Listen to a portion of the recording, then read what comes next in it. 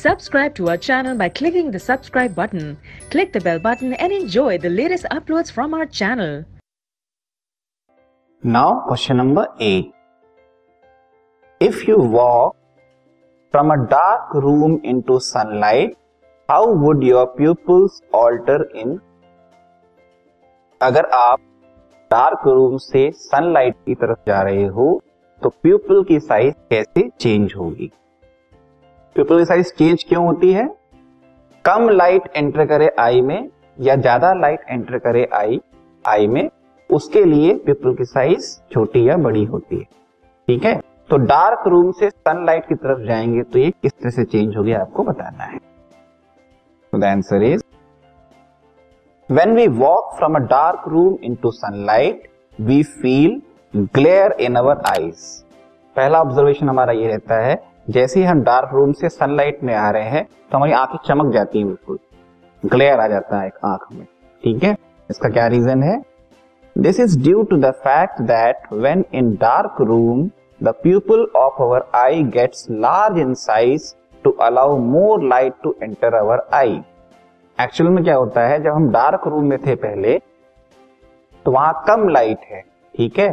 तो जितनी भी लाइट है वो अंदर एंटर हो सके आई के अंदर, इसके लिए प्यूपल की साइज़ काफ़ी बड़ी हो जाती है। ठीक है? अब अचानक जब हम उस डार्क रूम से बाहर आते हैं तो साइज़ तो ऑलरेडी पीपल की क्या है? बड़ी हुई है। ठीक है? और जैसे सनलाइट पे आएँगे तो क्या होगा? सन से आने वाली मैक्सिमम लाइट जो है, इस बड़ी हुई पीपल की साइज़ में एंटर करने लगेंगी। मैक्सिमम लाइट अंदर चली जाएगी। तो हमें बिल्कुल चमक महसूस होती है। लेकिन इतनी सारी लाइट अंदर जाना सही नहीं होता डेंजरस होता है। तो प्यूपल क्या करता है? अपने आप अपनी साइज़ क्या है? कम करने लगता है। और फिर धीरे धीरे हमको नॉर्मल नज़र आने लगता है। मतलब साइज़ उसकी घटने लगती है प्यूपल की तो कम फिर लाइट एंटर होने लगती है तो हमें ग्लेयर महसूस नहीं होता।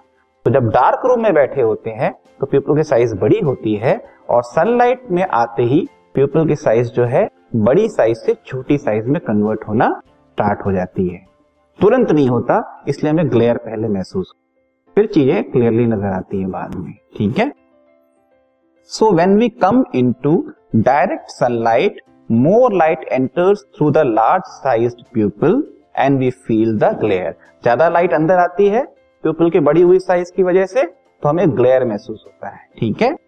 Gradually the pupil of our eye contract मतलब उसके तुरंत बाद जब सनलाइट पे आ गए तो अब जो है प्यूपल की साइज़ घटना शुरू हो जाती है कॉन्ट्रैक्ट होना शुरू हो जाती है and become small to allow less light to enter our eye मतलब अब कम लाइट अंदर हमारे पहुँचे आई के अंदर पहुँचे, इसके लिए उसकी साइज़ क्या हो जाती है? घट जाती है।